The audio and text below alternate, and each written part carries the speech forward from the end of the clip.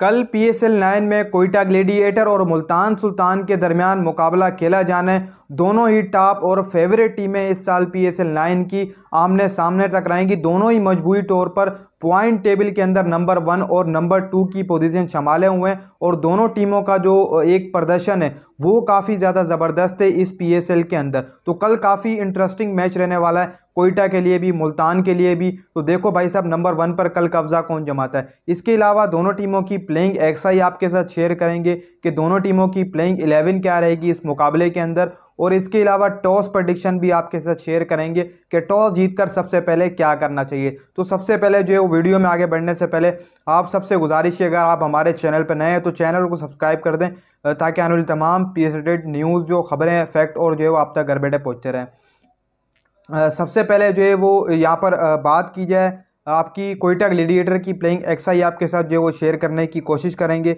उसमें जो है वो कोयटा ग्लेडिएटर की ओपनिंग पेयर यही रहेगा जैसन रॉय और साउथ शकील जो है वो ओपनिंग करते हुए नज़र आएँगे। इसके अलावा तीसरे नंबर पर इस साल ज़बरदस्त परफॉर्मेंस दिए ख्वाजा नाफे ने कोयटा ग्लेडिएटर के अंदर, वो खेलते हुए नज़र आएँगे। फिर उसके अलावा कैप्टन रायली रूसो फिर wicket keeper batsman Sarfaraz Ahmed left hand batsman Sherfane Rutherford Akeal Hosein Mohammad Wazir को पिछला मुकाबला खिलाया था। काफ़ी ज़बरदस्त बॉलिंग की थी।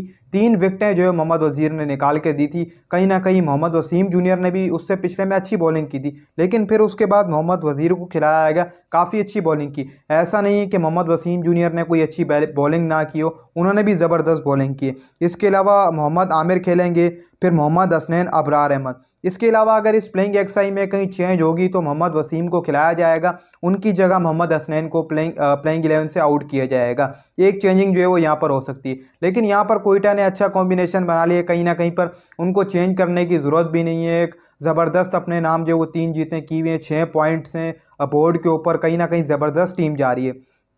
इसके अलावा अब तक मुसलसल जो पिछला मुकाबला था, वो मुल्तान सुल्तान ने जो हारा उनकी प्लेइंग एक्साई भी जो है वो आपके साथ शेयर कर देते हैं, क्योंकि वो भी अच्छा जा रहे थे टूर्नामेंट में, लेकिन उनको एक हार पड़ चुकी है पिछले मुकाबले में पिशावर जलमी के हाथों। यहाँ पर अगर उनकी ओपनिंग पेयर की बात करें तो कहीं ना कहीं मोहम्मद रिजवान और डेविड मरान का एक अच्छा ओपनिंग पेयर बनता है मेरे हिसाब से। सूट भी करता है और left hand right hand combination लेकिन डेविड मलान की काफ़ी अरसे से कोई ज़बरदस्त परफॉर्मेंस नहीं है। इसके अलावा रसी रीज़ा एनरिक आकर खेलेंगे, यासिर खान आकर खेलेंगे खुशदिल शाह, इफ्तार अहमद, उसामा मीर, डेविड विले, अब्बास अफरीदी मोहम्मद अली और शाह नवाज़ धानी प्लेइंग एक्साई का ऐसा रहेंगे। अगर यहाँ पर बात की जाए इस प्लेइंग एक्साई की तो काफ़ी ज़बरदस्त प्लेइंग एक्साई लेकिन यहाँ पर डेविड मलान की कोई लंबी इनिंग जो है वो अभी तक नहीं आ सकी है, जो कि उनको मजबूरी तौर पर लगा लेनी चाहिए थी। पहले मुकाबले में अच्छी बैटिंग की थी, लेकिन उसके बाद कहीं ना कहीं हमें डाउन देखने को मिले डेविड मलान। वो भी अगर वापसी कर लेते हैं तो मुल्तान का एक ज़बरदस्त जो है वो तगड़ा कॉम्बिनेशन बन जाएगा। इसके अलावा ये जो मुकाबला होगा, वो मुल्तान के क्रिकेट स्टेडियम में होगा तो यहाँ पर जो भी टॉस जीतेगा मेरे हिसाब से सबसे पहले वो बैटिंग करने की कोशिश करेगा, क्योंकि दूसरी इनिंग के अंदर आप विकेट जो है वो आराम से गिरा सकते हैं मुल्तान सुल्तान की पिच के ऊपर। कहीं ना कहीं जो भी टॉस जीतेगा, वो सबसे पहले बैटिंग करने की कोशिश करेगा। तो ये जो है वो आपके साथ अपडेट थी शेयर की, प्लेइंग एक्साई और मैच प्रडिक्शन बताई। उम्मीद है आपको अच्छी लगी होगी।